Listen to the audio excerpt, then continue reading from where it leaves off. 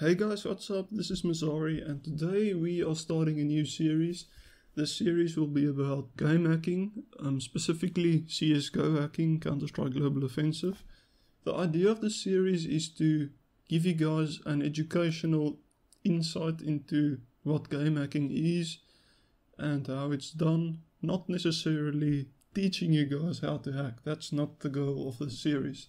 So, we have to start with offsets. What is an offset?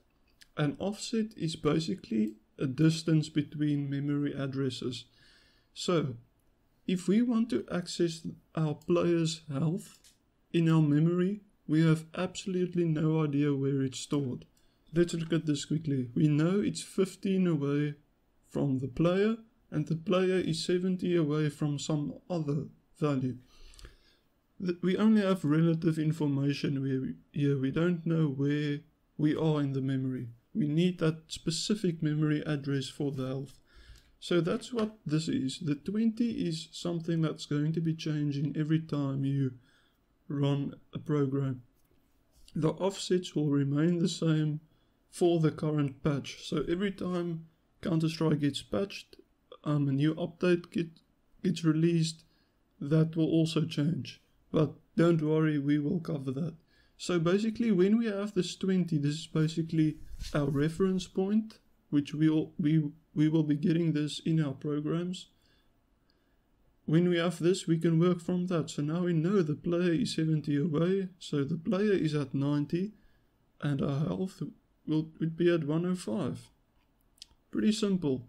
Now, memory uses hexadecimal numbers, not like this, it's not going to be 20, 70 and 15. This is just to show you guys how it works.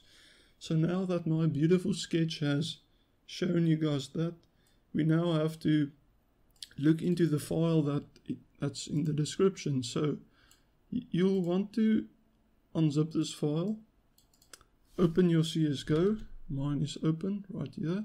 Now in this zip file or this folder we have our config and our Hazedumper. We just want to run Hazedumper and that's it.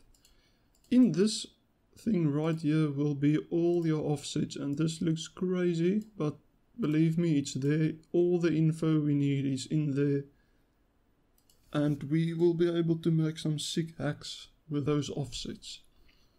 So but that's it guys, we now know what an offset is, how it works. Don't worry if everything doesn't make sense to you at the moment because it will make sense once we start getting into the programming.